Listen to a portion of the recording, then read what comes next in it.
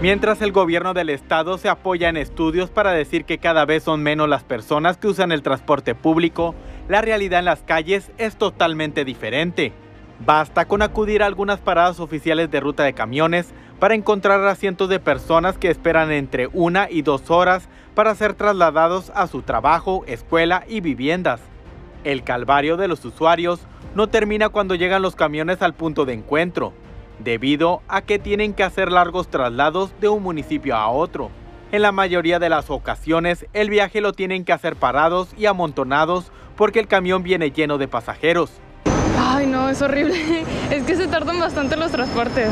O sea, no sé si no tengan demasiados o algo, pero no, es que no, casi no pasan. Y si pasan, pasan llenos y se van. ¿Cuánto tiempo tienes aquí en el lugar? Ya como media hora. Tengo como una hora aproximadamente. ¿Vas saliendo de clases? ¿Te diriges a tu domicilio? Sí, voy saliendo de clases. De hecho, salí a las 6.40 y tengo como una hora aquí esperando el camión.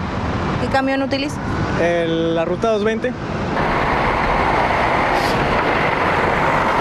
En promedio me tardo una hora a, a veces dos horas casi esperando de que pues, no se paran los camiones. A veces sí pasan camiones que sí se pueden parar para subir a, pues, a personas, pero pues a veces no se paran, se van de largo, así.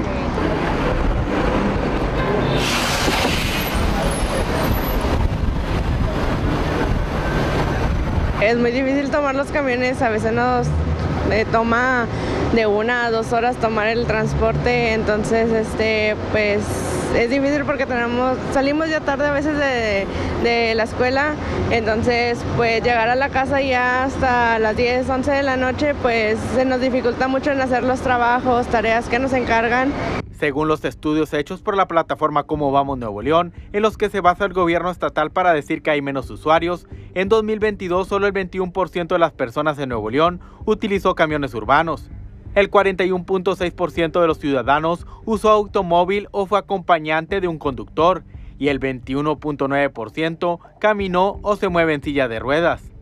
A pesar de que la administración estatal argumenta que hay menos usuarios, el pasado 3 de abril el secretario de Movilidad del Estado, Hernán Villarreal, reconoció que hay un déficit en el transporte público. Seguimos teniendo un déficit.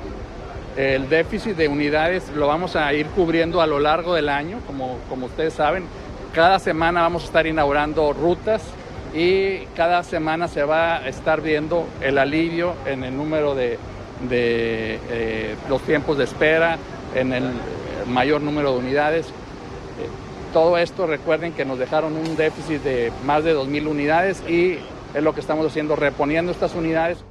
Para atender la crisis de movilidad, el gobierno del estado compró y arrendó 1.800 camiones. La primera compra fue de 800 a la empresa Tixa y posteriormente se adjudicó un contrato de 400 unidades a la empresa LDR Solution. En mayo, otros 600 camiones fueron arrendados a la empresa Egomóvil y poliuretanos y plásticos reforzados. Actualmente, en la ciudad solo operan 473 unidades de las 1.800 compradas, según señaló Villarreal el 21 de julio. El gobernador Samuel García ha prometido que para noviembre operarán los 1.800 camiones, con los que se podrá iniciar la reestructura del transporte. Telediario, José Luis Marroquín.